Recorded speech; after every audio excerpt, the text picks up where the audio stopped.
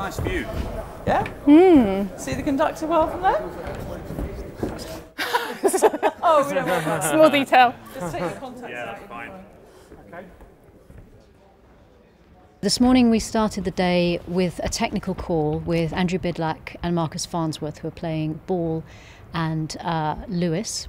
And the idea was we needed to tech their entrance into what we call the sap, which is the jutting out part of the trench, which is where John Ball goes on watch on his first night. We've got a really big piece of scenery, almost like a front piece, and there's a tunnel in it, and two of our singers have to climb through that tunnel. So we were just doing it dry and quietly with them to make sure that it's all safe. And we hadn't seen the sap cloth before. That's the first time we saw that today. And you know, we're lucky as well. We've seen some of the lighting on it, and it's it's going to look stunning. It's going to look really fantastic.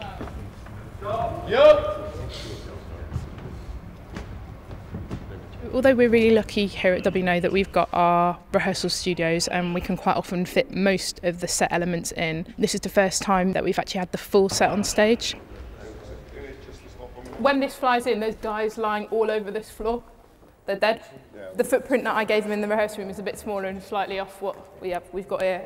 It's a bit wider, this, so um, just give them an idea of where they need to stay out of a lot of us that have been in the rehearsal room for four weeks could have quite happily have gone onto stage about two weeks ago. So it's going to be fun seeing what it looks like with everyone in their costumes. Now we too have slimed our dark bright coat. Today is the first day of stage and piano rehearsals. That's the first day of stage rehearsals. We've been lighting. And yeah, we're getting ready for the chorus and the cast to join us on the set for the first time.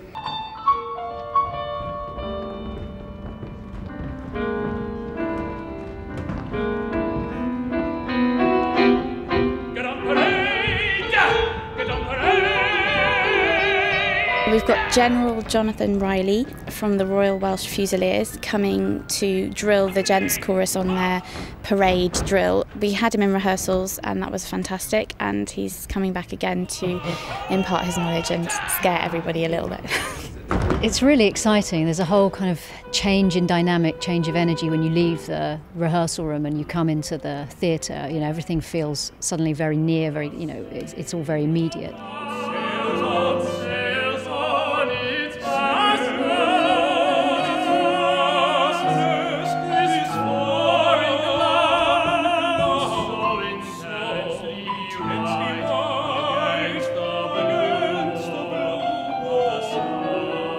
The show is very direct and very easy to connect with and hopefully it will engage a lot of people who might not necessarily come to the opera.